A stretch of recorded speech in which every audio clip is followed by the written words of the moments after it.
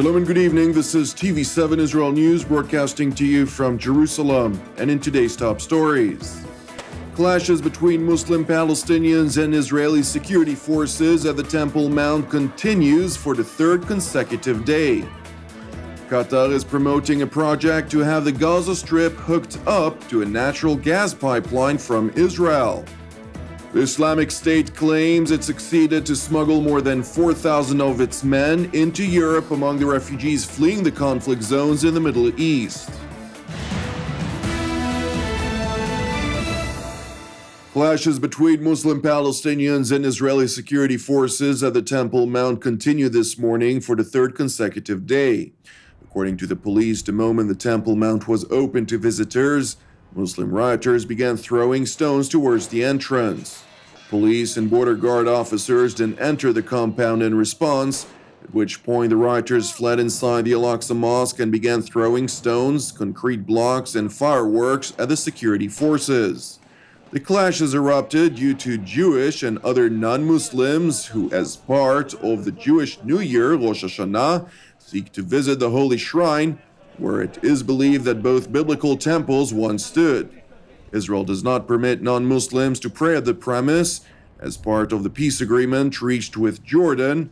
However, Muslims occasionally riot against religious Jewish visitors whom are calling to change the status quo by allowing all people the right to worship at the site.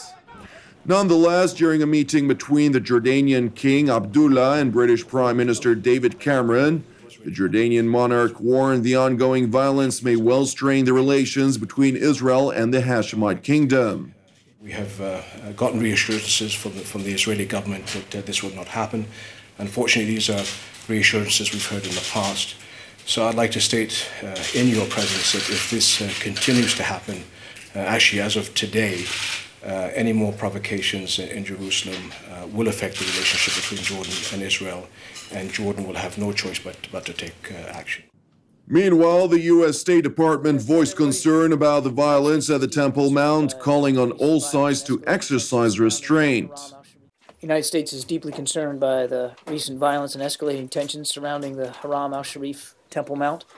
We strongly condemn all acts of violence. It is absolutely critical that all sides exercise restraint, refrain from provocative actions and rhetoric, and preserve unchanged the historic status quo on the Haram al Sharif Temple Mount, in word and in practice.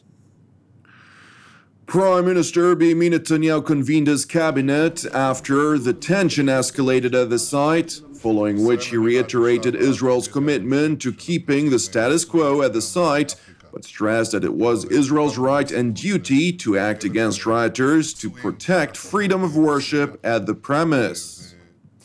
Now to another matter, Qatar is promoting a project to have the Gaza Strip hooked up to a natural gas pipeline from Israel.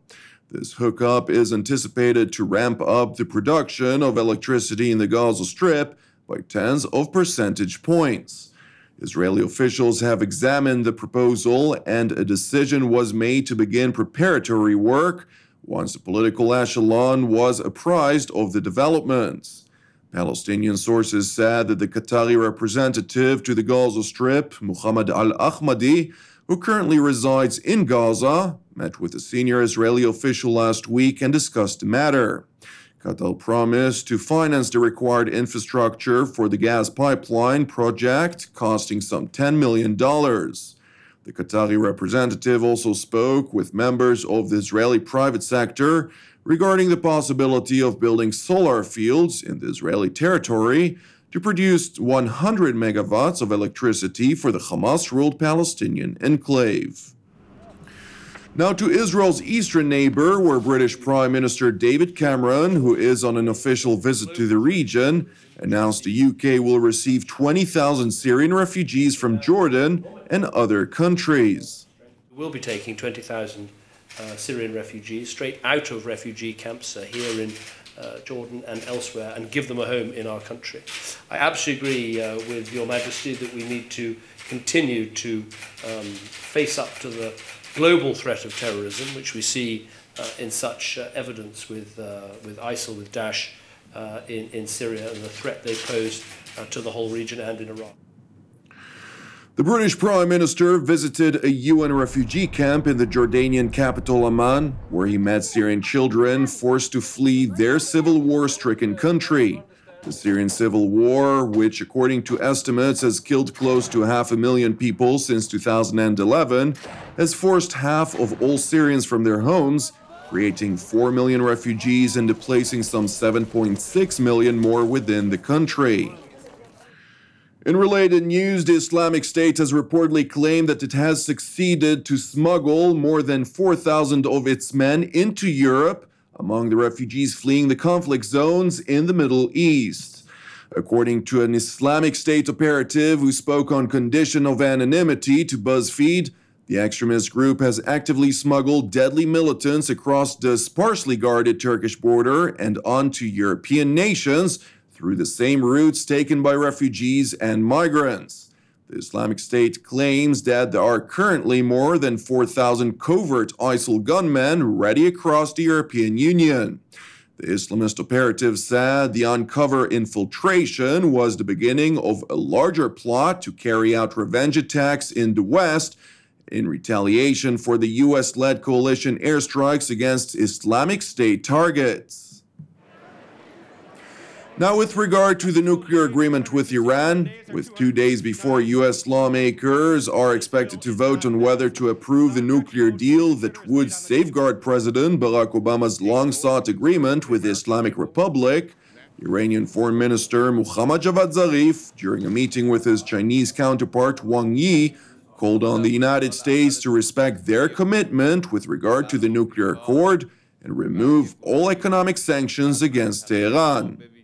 اما در مورد آینده برجام و تغییرات سیاسی در آمریکا بر اساس حقوق بین الملل دولت ها متعهد به تعهداتی هستند که در حوزه بین المللی میپذیرند و دولت آمریکا قبول کرده که از اجرای تحریم ها به صورت مستمر خودداری بکنه و این با تغییر رئیس جمهور و یا تصمیم گیری های داخلی آمریکا تغییر نخواهد The Iranian top diplomat stressed that it was regrettable that people in America, as well as in regional countries, including Israel, are seeking to advance another conflict in the region, which they believe would bring about a different reality rather than seeking the agreed upon peaceful solution.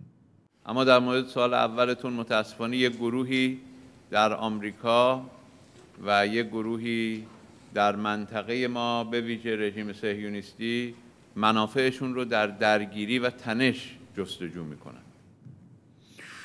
China, which played a role in the negotiations with Tehran as part of the P5 plus 1, which represented the international community in the nuclear talks with the Islamic Republic, called on all sides to firmly stick to the key principles of the agreement.